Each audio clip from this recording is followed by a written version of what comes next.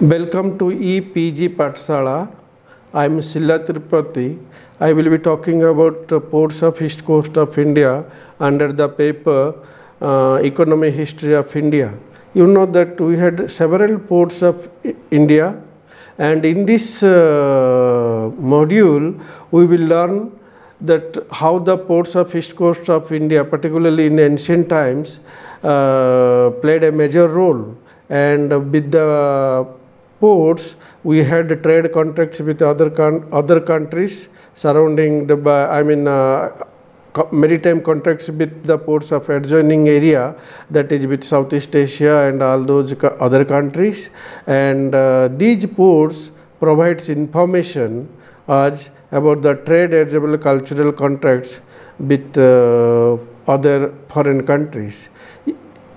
Along the east coast of India, there were a number of ports which, uh, I mean, came into light in different periods of history.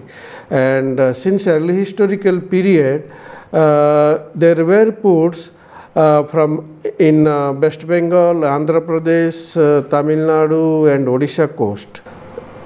As we know that the ports of Bengal, for instance, Tamaralipti, Chandraketugad, Panduraj Devi, Sonargaon, Satgaon, all these ports were existed in the early historical period and they had contracts both with the interland trade as well as the external trade. Tamaralipti was a Dronimukha type of port which was located at the confluence of sea and the river and uh, this Tamaralipti has been referred by Ptolemy, Phaya in Huangsang and uh, it is mentioned that uh, there were regular sailing of vessels from Tamaralipti to Burma and they were crossing the Bay of Beng- Bengal and they were making a direct voyage to Malaysia and other parts of Southeast Asia. Even they were going to East Indies and beyond the region. No, as you know that uh, during uh, rule of Asoka, Asoka's son Mahendra uh, and daughter Sanghamitra has gone to Sri Lanka with a branch of Bodhi tree and they had sailed from Tamralipti as it is known from the Asokan uh, period documents. But uh, before that we should know that Tamralipti was a port. That's what uh, that's what Asoka sent his son and daughter to Sri Lanka. If Tamaralipti was came to light uh, during Asokan's times, I don't think that it was possible for them. Being it was uh, a, a port before Asoka, so that was that's what Asoka has sent to his son and daughter to Tamaralipti with a branch of Bodhi tree. The archaeological excavations uh, at Tamaralipti has brought to light terracotta uh, uh, figurines of Sunga period as well as copper coins. And more importantly the excavations of Tamaralipti has uh, yielded uh, rouletted ware, sprinkers and which shows particularly the sp- sprinkles uh, shows that contacts with uh, other countries. And uh, the archaeological stratigraphy um, um, uh, from the archaeological excavations we can get some structural remains that is a stepped tank which is second third century AD the other port of Tamralipti is known as, as Chandraketugad. Okay? It was also a flourishing port of West Bengal uh, during 1st century to 4th century AD. And Tamra, Chandraketugad was uh, located or situated on the river bank of Vidyadhari and uh, it has a Chandraketugad has a earthen fortification and Ptolemy has referred to Ta- Chandraketugad as Gange. The archaeological excavations of Chandraketugad was uh, carried out by uh, Asutosh Museum, Calcutta, and during excavations, there they have found NBP, graveware, semi-precious stone beads, punchmark coins, and uh, punchmark coins with boat motifs. This is the first instance in India where we have found punchmark coins with boat motifs. The other findings from Chandraketugad was no paddy storage uh, wooden structures those were wooden boxes. That is one of the important findings. Moreover, we have found rouletted ware, semi-precious stone beads, and terracotta figurines of Sunga, Kushana, and Gupta period. Punchmark coins, Kushana coins, Gupta coins also has been uh, found uh, from Chandraketugad excavations, and uh, brick, temples of later period. And uh, the semi-precious stone beads as well as uh, which were found in Chandraketugad, those were resembling with the stone beads of uh, Bantapet of Thailand. Okay. Similarly, it appears that probably the beads of Chandraketugad had uh, gone. I mean, the people of Chandraketugad, the mariners of Chandraketugad, probably dealing with the semi-precious stone beads, and they had contacts with uh, Thailand. Okay, and the, then similarly, there is another important finding is lead ingots has been found in Chandraketugad and similar lead ingots has been found from Krabi province of Thailand. The findings of Chandraketugad clearly suggest that, that it was a port and as well as urban settlement which was flourishing from uh, 4th century BC to Gupta period you can see in the slides the lead ingots as well as the structural remains of Chandraketugad. Moreover, from West Bengal, we have found lot of lot of Brahmi and Kharosthi inscriptions datable to 1st to 5th century AD. From uh, those inscriptions are found on pots, seals and sealings from Chandraketugad, Tamralipti, Bangarh and other sites and it shows these I mean the decipherment of these inscriptions shows that there was a contact between ports of West Bengal or the, these sites of West Bengal with the northwest region of India. And uh, these people were involved in horse trade and corn trade.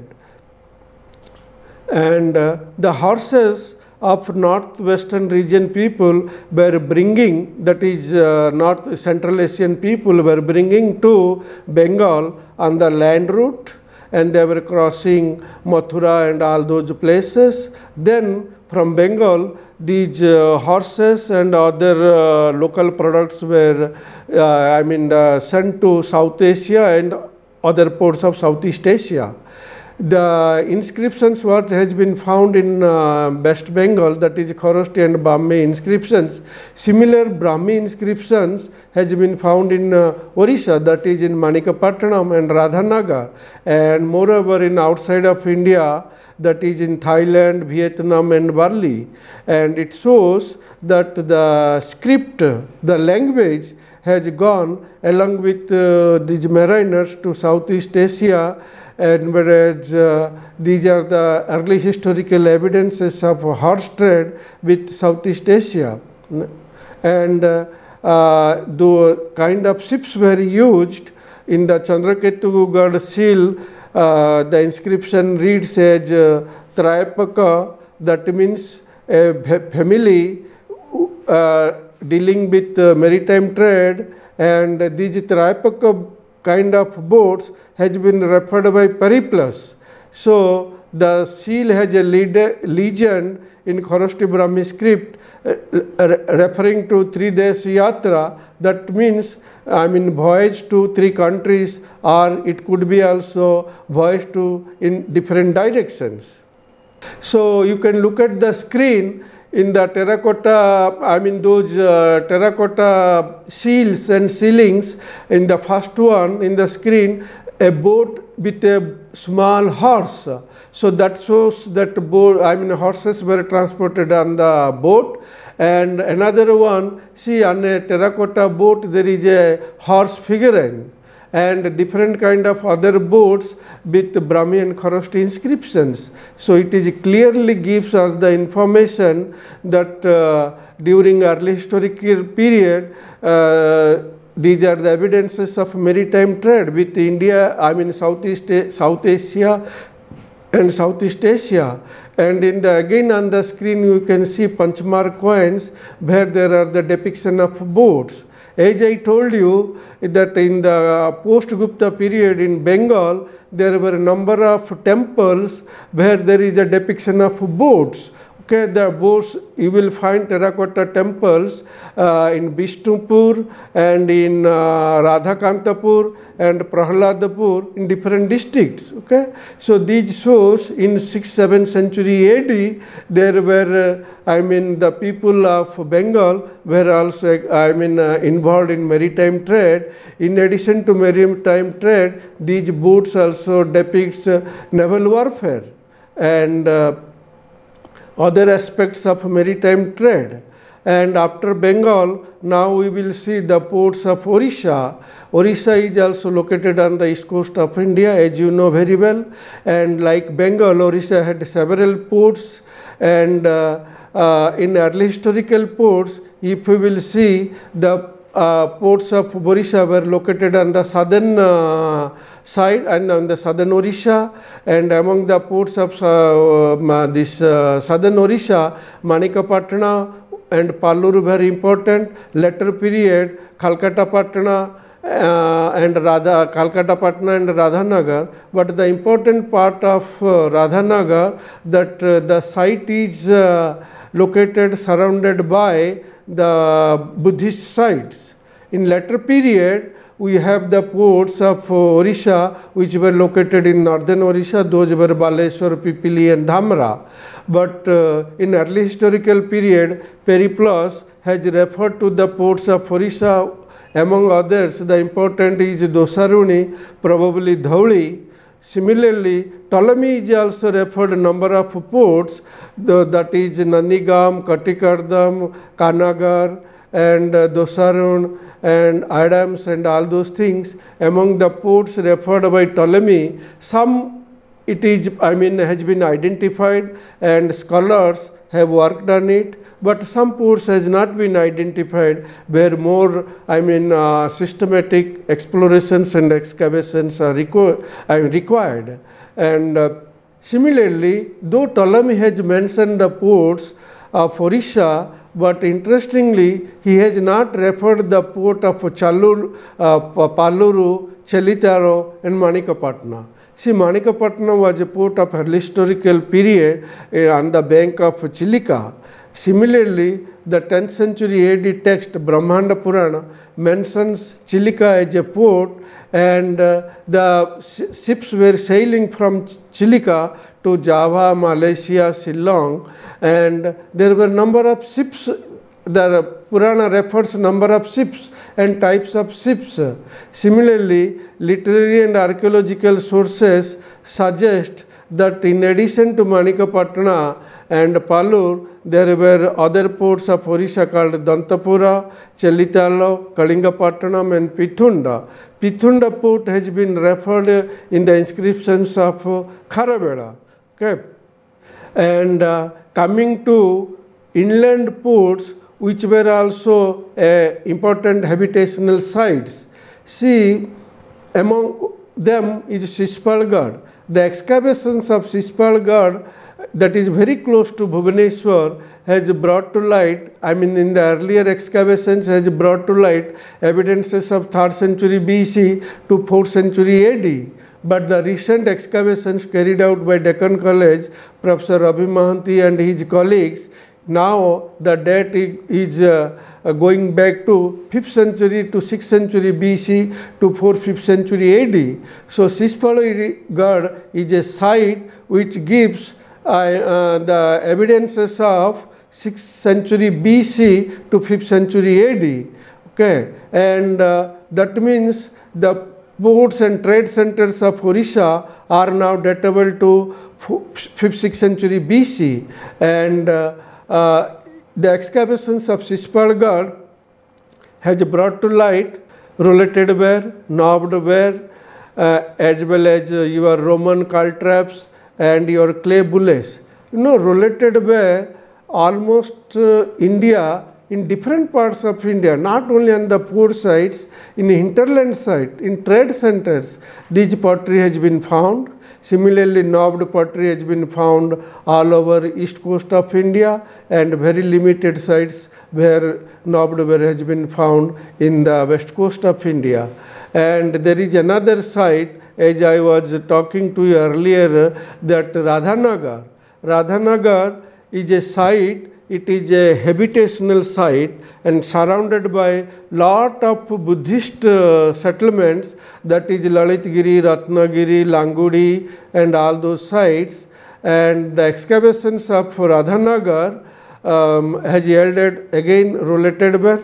This is the general view of Radhanagar where Orison Institute of Maritime Studies has carried out the excavations and during their excavations they have found uh, evidences of early historical period that is they have found they have found rouletted ware, knobbed ware and uh, other pottery as well as molded pottery and uh, pottery having designs. Now the other port site is Manikapatna is located on the bank of Chilika.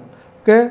As I told you in 10th century references that uh, they have referred uh, Chilika was a port but uh, Manikapatna on the bank of Chilika, the archaeological excavations has brought to light uh, Kharosthi inscriptions you can see on the screen and stone moldings, different kind of pottery, rouletted ware and uh, terracotta beads, Indonesian uh, uh, images that images includes bronze and terracotta figurines of Indonesia. More interestingly, what we noticed at Manikapatna, there are number of terracotta bells. These terracotta bells submerges during high tide and exposes during low tide. That means when the site was in operation, that means when, Khalka, when was a port, the lake was away from the site and these ter terracotta rings were usable. Now because of uh, geological factors, the site, I mean these terracotta wells are under the waters of uh, Chilika lake. Okay. So it shows that how the geological factors or geological factors have played a major role uh, in the declining of maritime trade.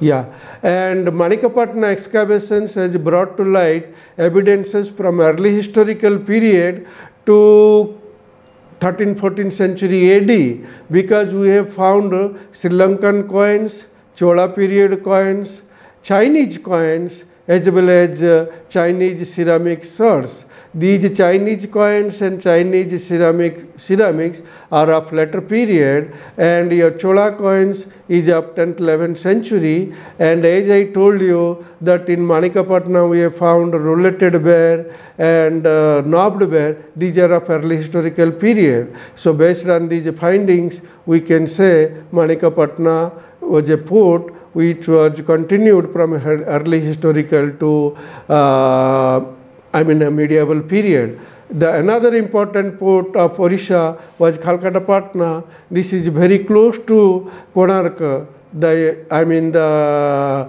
UNESCO monument Konark temple.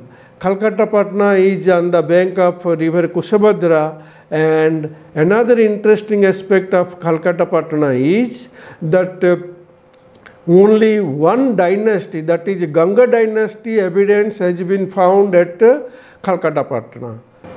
Another interesting aspect you can look at Khalkattapatna, see the remains of the port is on the bank of uh, the river and during a high tide the, the river you know because of the river activities or river action these archaeological remains are going into the river and slowly these are disappearing and there is a major the, because of the river, we, are, we have noticed that the, uh, the remains of the port is uh, going into the river. This is because of the river erosion.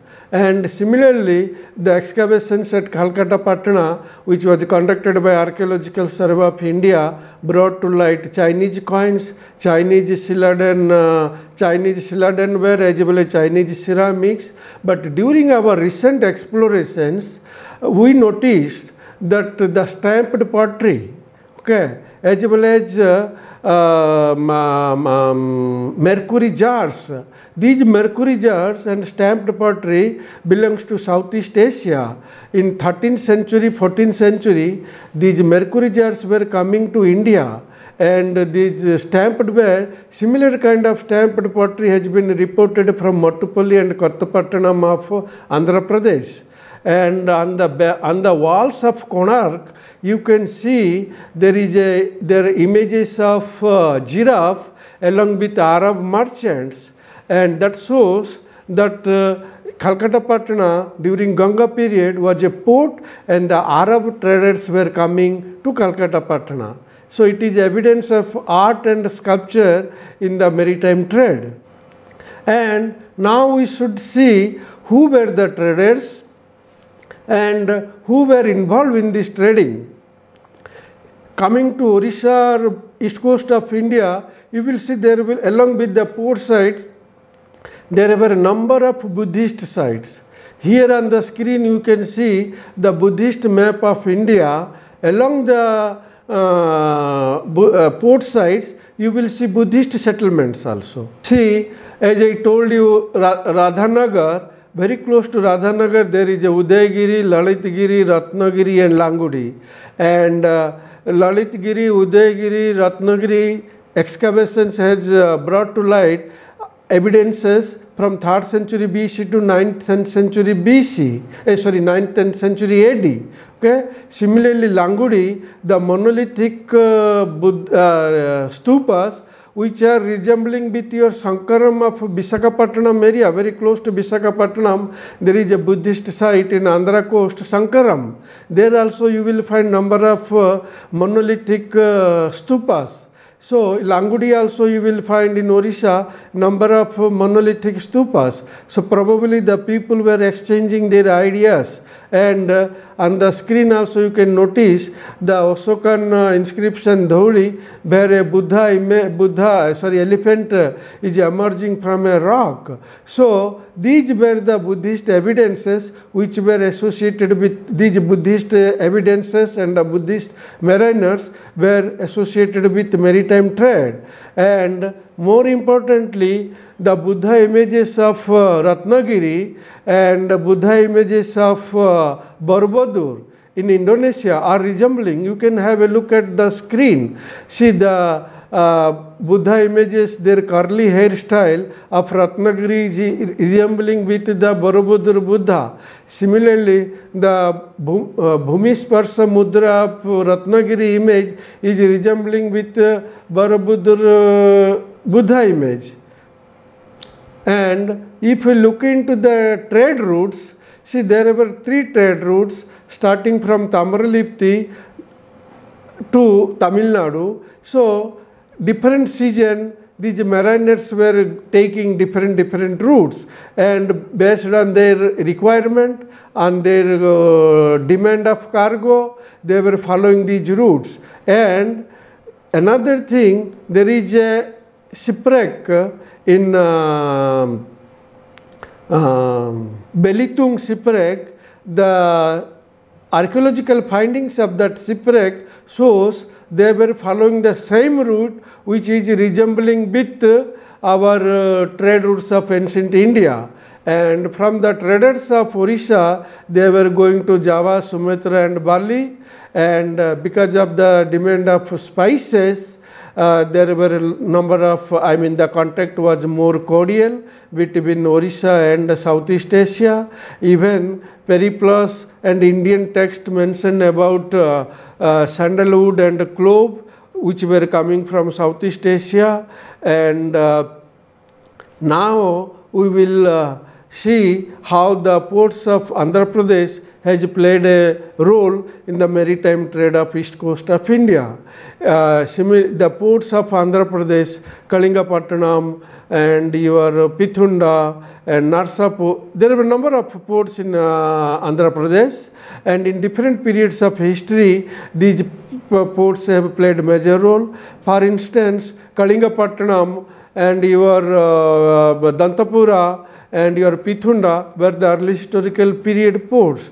But uh, the other trade centers of Andhra coast during early historical period were Tottalkonda, Bhabikonda and Bimilipattanam. See, the early historical period, Buddhist sites were there, Buddhist settlements were there. It is very interesting to tell you that when you will visit to the Tatalkonda and Bhabikonda sites, you can see those were located on the hillock and the, from the hillock you can see the sea.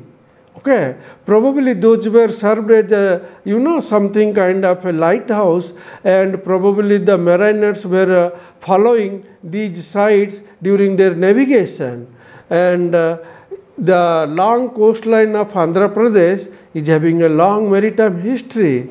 As I told you, Kalingapattanam, it was located on the river of Banshidhara and the archaeological excavations of Kalingapatnam has brought to light uh, rouletted ware, red slipped ware, Gupta period terracotta art, terracotta figurines and gold coins and there is a stupa which is datable to early historical period and uh, uh, there are settlement sites. See now look at the screen there are different kind of pottery during our explorations we had found along with uh, your saddle coin and uh, stone pedestals okay and sprinklers so many things and the other port of Andhra Pradesh was Dantapura. That is also located on the bank of river Banshadhara and during archaeological excavations of uh, Dantapura which was done by Department of Archaeology of Andhra Pradesh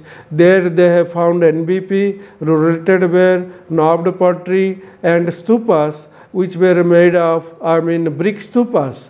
Okay? And red-slipped jar. And uh, uh, these uh, pottery of uh, Dantapura shows up uh, earlier to Kalingapattanam and between Kalingapattanam and uh, Danta, uh, Kalingapattanam and Dantapura the another important site is Salihundam. On the hillock of the Salihundam you can see number of Buddhist uh, stupas brick stupas and monasteries and uh, viharas and during excavations there Punchmark coins, Puri Kusana coins, Roman coins has been found.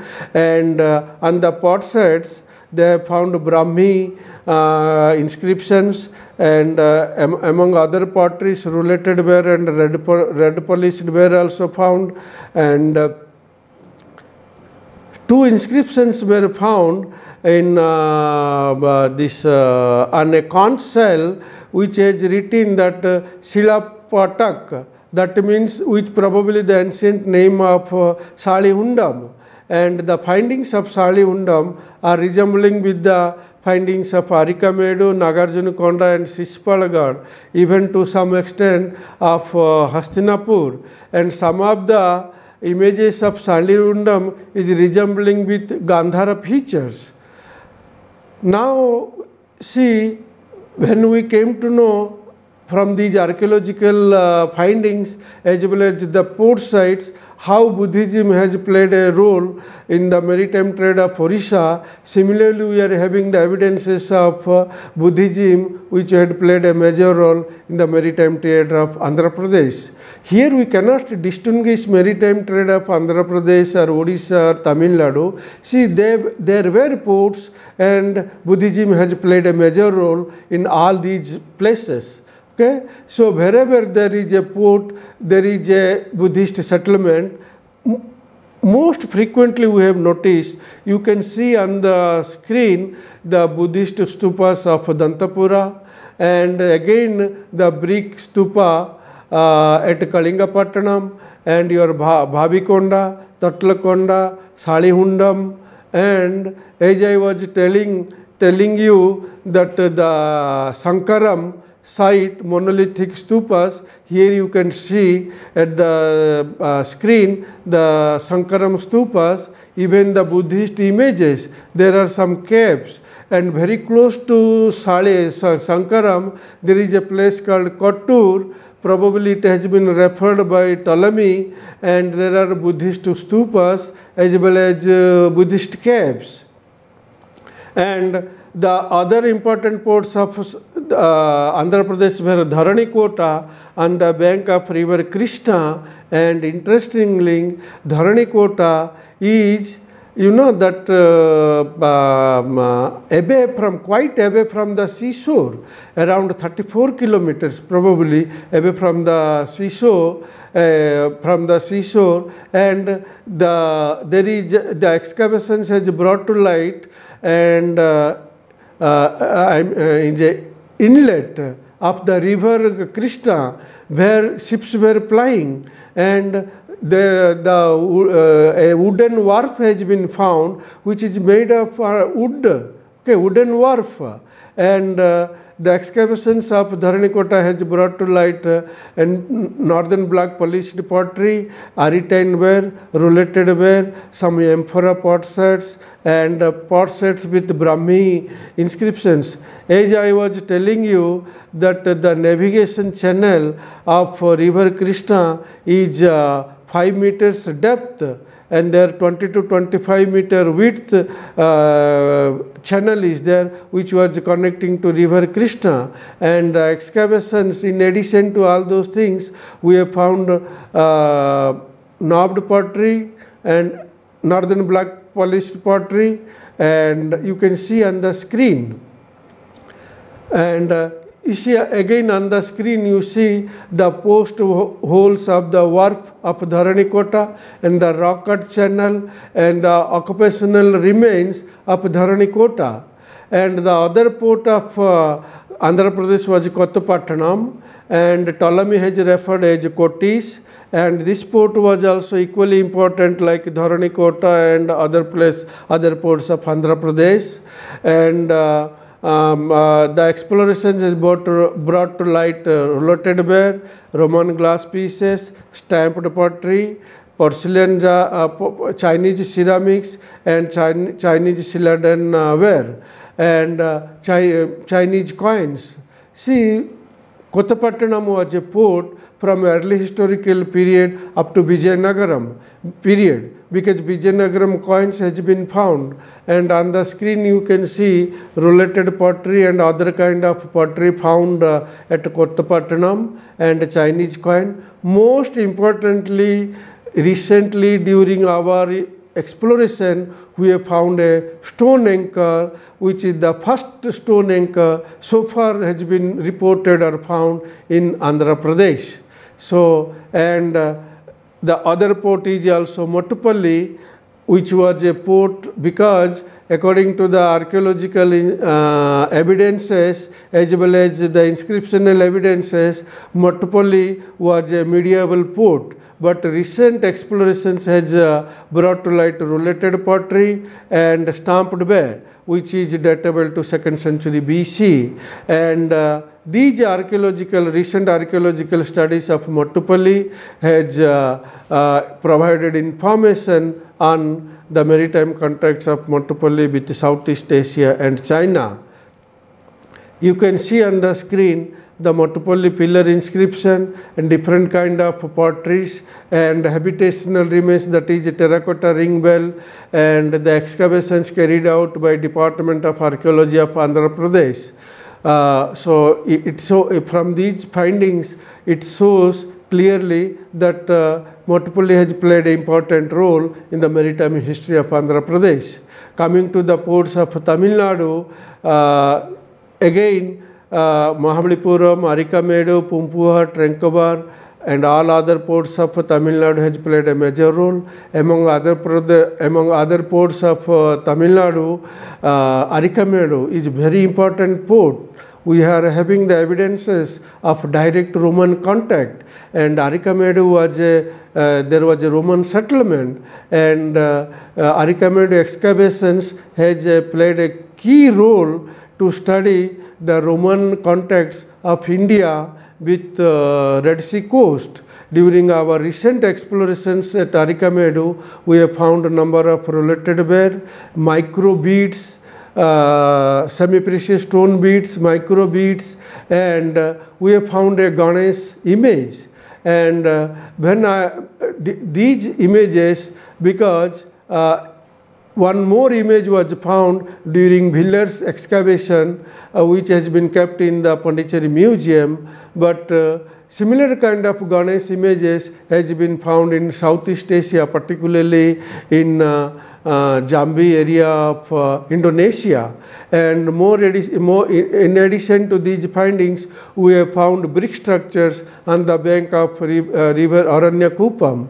And earlier, uh, during Wheeler's excavation, the antiquity of Arikamedu was datable to 1st century AD, but the excavations carried out by Vimala Begley and others, it clearly suggests that Arikamedu was a port uh, during 3rd century BC to later period. Coming back to other port that is Pumpuhar, it was also a Sangam period port. The department archaeological scholar Survey of India has excavated where uh, Buddhist uh, establishments has been found at uh, Pallavanesvaram and other sites. In addition to uh, these Buddhist establishments, we the excavations has brought to light uh, uh, brick warps along with in those warps uh, there were wooden remains were there.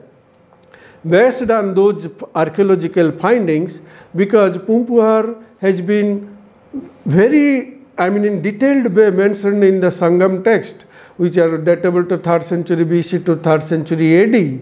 So based on these uh, uh, evidences, the Department of Archaeology Government of Tamil Nadu funded provide, I mean, uh, uh, given a project to NIO, that CSIR NIO Goa, to undertake explorations. And during our explorations, we have also found number of structures along the bank, along the uh, along the coastal uh, Pumpuhar, where we found uh, terracotta ring bells and brick structures and some of the structures were, I mean, uh, submerging during high tide and those structures you can see on the screen which during low tide it, uh, those are exposed.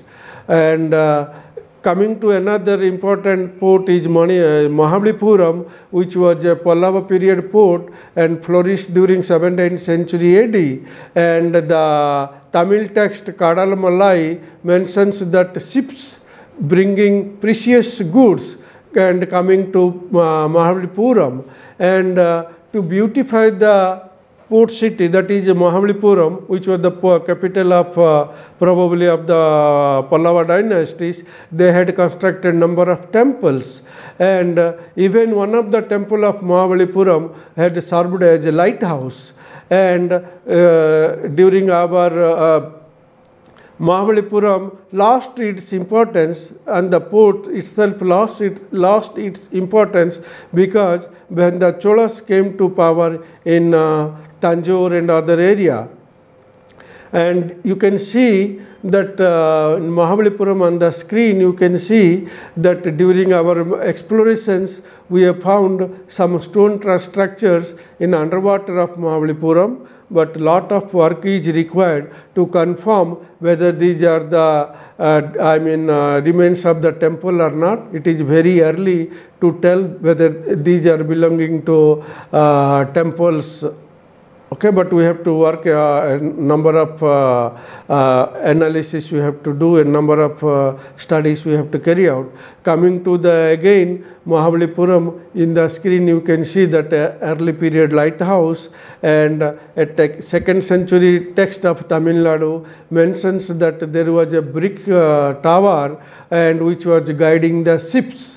Okay and when the and recently the modern lighthouse, uh, lighthouse has come very close to that temple of Mahabalipuram. And uh, there is another site uh, port site of um, Tamil Nadu was Alagankulam. It was also equally important like our uh, Arikamedu and Mahabalipuram.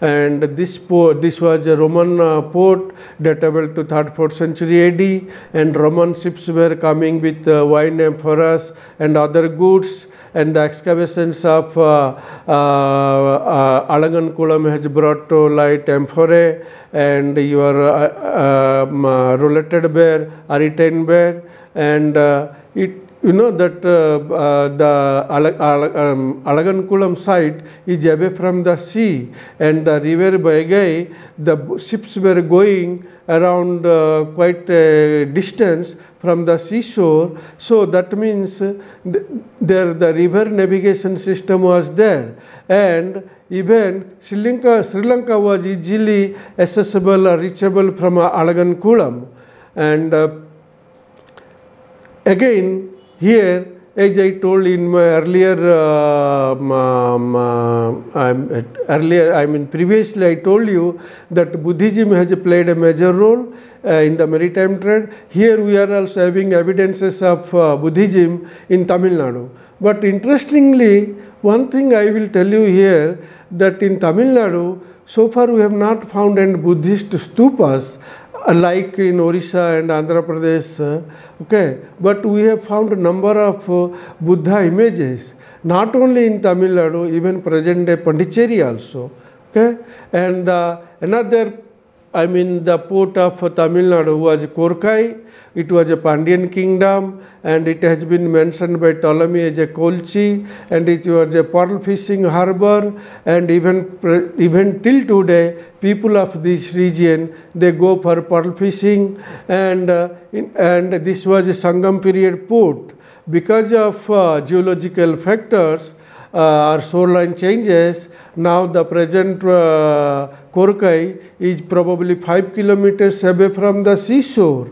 Okay, once upon a time, Korkai was on the seashore. Now it is five kilometers away. The other ports of Tamil Nadu were Kayal and Tondi, and uh, uh, these ports were also played an important role.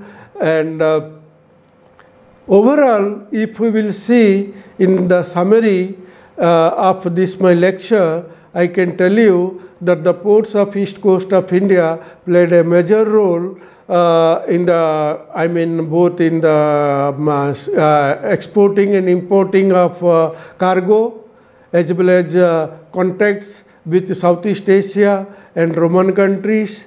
And uh, because of uh, various region, change of dynasties, economic condition of the country, as well as uh, shoreline changes or other geological factors, uh, because of these regions, the ports of east coast of India, some of the ports of the east coast of India declined, and but uh, ports declined.